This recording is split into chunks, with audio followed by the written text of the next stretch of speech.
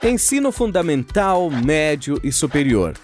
Todas as etapas da nossa vida estudantil são bem estruturadas e cada país tem seu modelo. Mas você sabe como se dá essa estrutura do sistema de ensino no Brasil? Vamos lá. Para entendermos melhor, vamos analisar o conceito de sistema. Sistema é o conjunto de elementos ou partes relacionadas e coordenadas entre si, constituindo um todo, não perdendo sua individualidade, apesar de se integrarem.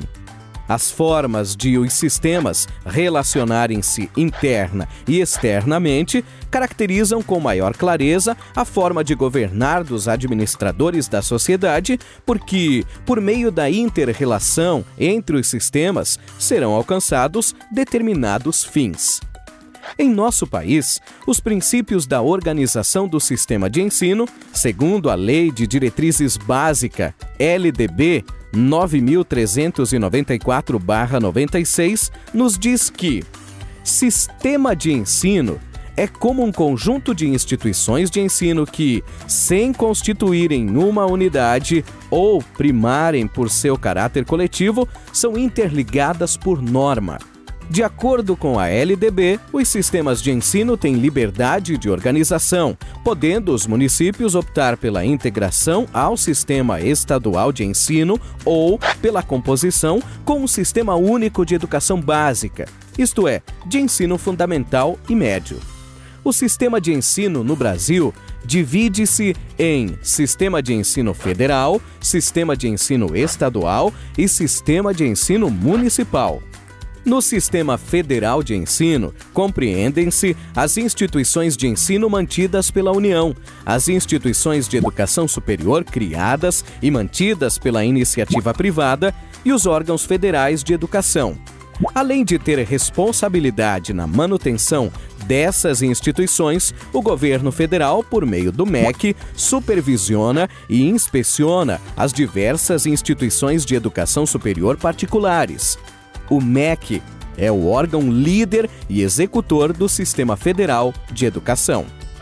Os sistemas de ensino estaduais e do Distrito Federal compreendem as instituições de ensino mantidas, respectivamente, pelo Poder Público Estadual e pelo Distrito Federal. As instituições de ensino superior mantidas pelo Poder Público Estadual as instituições de ensino fundamental e médio, criadas e mantidas pela iniciativa privada, os órgãos de educação estaduais e do Distrito Federal. Os estados, por meio de seus sistemas de ensino estaduais, devem proporcionar acesso à educação e legislar sobre ela e o ensino, mantendo unidades de educação infantil, do ensino fundamental, do médio e do superior, os sistemas estaduais têm assumido ainda a função de disciplinar a educação particular, fundamental e média, em suas específicas unidades federativas.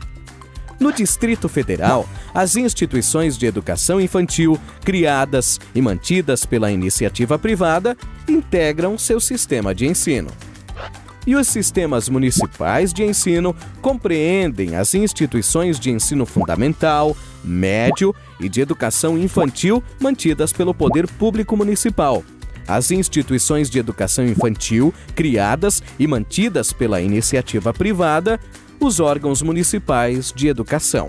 De acordo com a Constituição Federal de 1988, a educação de crianças até 6 anos é dever do Estado e responsabilidade do município, o que significa que, prioritariamente, devem responsabilizar-se pelo atendimento a crianças até 6 anos nas creches, pré-escolas e ensino fundamental, tanto na zona urbana quanto rural. Com a Lei nº 9394/96 LDB, o grande objetivo tornou-se normatizar o sistema educacional e garantir acesso igualitário para todos em relação à educação, tendo como meta a democratização e universalização do conhecimento básico. Até logo!